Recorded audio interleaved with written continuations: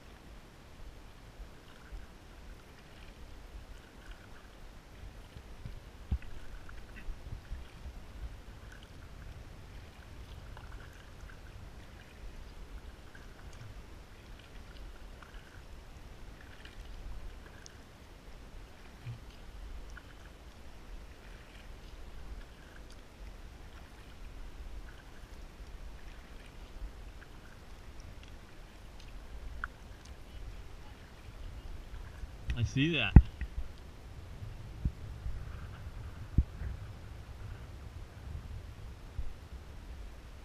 I got to see a couple birds. They spooked them out of their natural habitat.